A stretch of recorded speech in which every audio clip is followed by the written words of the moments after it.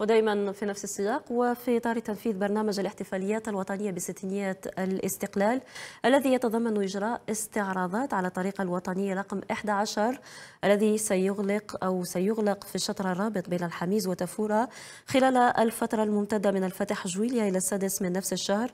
وتعلم الشركة الوطنية لتسيير المحطات البرية سوغال كافة مستعملي محطة كبار معطوبي حرب التحرير الوطني خروبة بتعديل برنامج الرحلات طيلة مدة الاحتفالات بما يتماشى مع الظرف.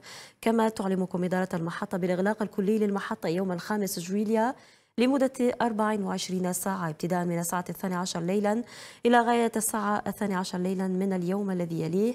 وتعتذر مؤسسة سوغال من مسافريها عن الاضطرابات الناجمة في وتيرة الرحلات.